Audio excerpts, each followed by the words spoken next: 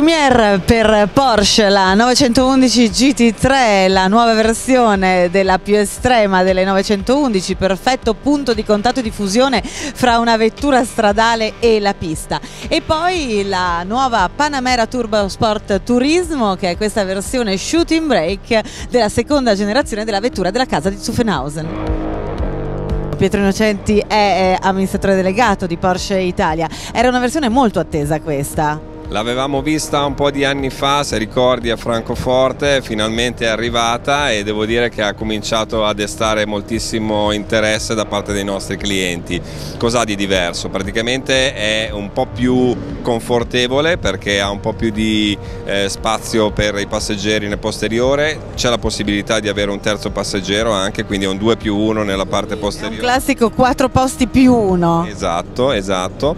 E ha un pianale di carico più basso basso, quindi un po' più agevole anche per eh, chi porta molti bagagli e anche una chicca diciamo, di aerodinamica perché ha questo spoiler eh, adattivo che si alza quando si supera una certa velocità. Tutto il resto è praticamente identico alla Panamera.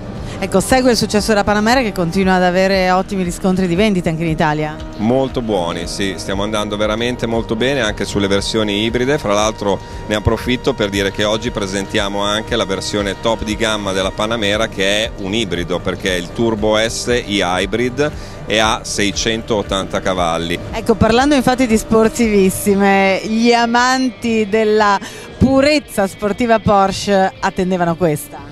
Sì, ovviamente questo è il massimo di quella che è la nostra icona, la 911, una versione rinnovata con un motore nuovo di 4 litri, 500 cavalli di potenza, 550 Nm di coppia, tantissime novità da un punto di vista aerodinamico, soprattutto nel, nell'anteriore ma anche nel diffusore posteriore cerchi carboceramici di serie, ruote sterzanti a posteriore di serie e una novità molto importante, la macchina arriva di serie con il PDK a 7 marce ma c'è la possibilità di ordinarla anche con il cambio a 6 rapporti manuale.